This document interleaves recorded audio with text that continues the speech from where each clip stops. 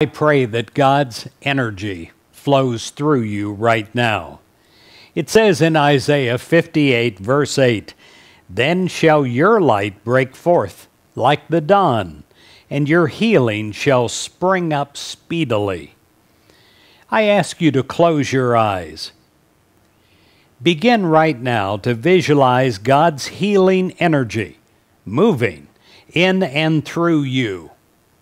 Visualize every atom and cell immersed in God's healing and purifying light. Imagine your areas of special need. Focus your attention on knowing that God's healing energy is doing its special work right there and right now.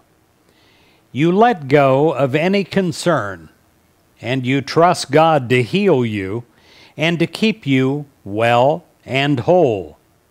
You relax in God's healing light, renewing you in mind and body.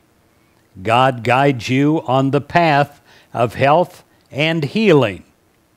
You have a new energy in you. God's healing energy is flowing through you right now. And you visualize this same healing energy working within your loved ones. No matter what the need, God can make them whole and God can make them well.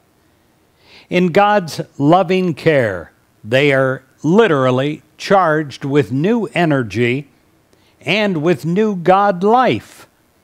We pray for ourselves and we pray for others that God's healing energy is flowing through us right now.